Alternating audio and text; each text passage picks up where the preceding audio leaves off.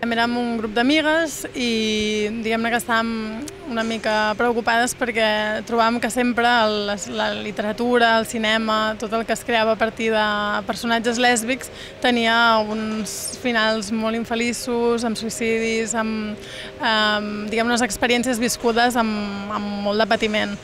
I teníem ganes de canviar aquest imaginari aquest és el projecte del llibre I visqueren felices, relats de lesbianes, raretes i desviades, un llibre que forma part d'un projecte de visibilització i la voluntat de dotar d'elements positius el fet de ser i sentir-se lesbiana o dona transgènere.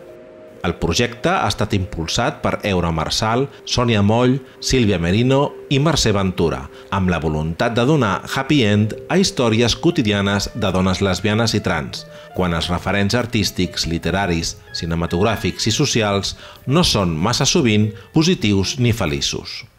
L'inici del projecte va ser un concurs literari en el que els relats presentats havien de tenir un final feliç, fugint de les tragèdies que normalment es plantejaven, creació de les visitat.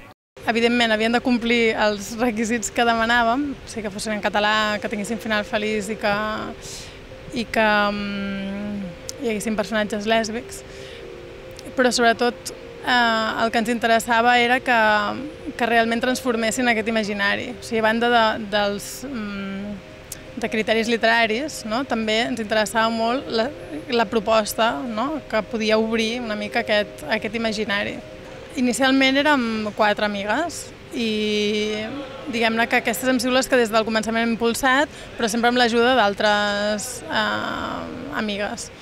I després, un cop ja es van seleccionar els relats, evidentment doncs, les autores van participar també doncs, en les eh, diferents tallers, presentacions del projecte per aconseguir diners i per difondre la idea i poder publicar el llibre.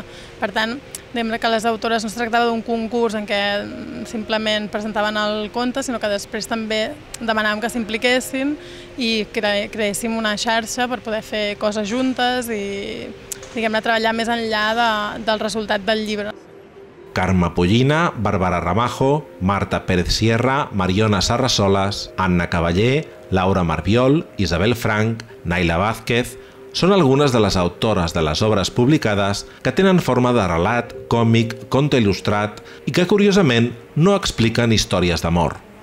Quan vaig veure la convocatòria, després vaig parlar amb elles i tot això, jo estava també amb altres projectes, però pel que t'he dit, no? pel fet de que fóssim tots, tot dones i la, i la proposta de ei, fem-ho divertit, això em va engrescar. La, les coses a la vida sempre tenen dos cares, la mateixa cosa. Tu pots prendre bé o malament, tu pots prendre d'una manera optimista o no, i crec que ser feliç és una decisió personal. Jo decideixo ser feliç, i el que passi al meu entorn, doncs mira que passi, ho entomarem, i algunes coses m'agradaran més i altres menys, però jo he decidit ser feliç. I crec que això està molt bé transmetre-ho a la literatura.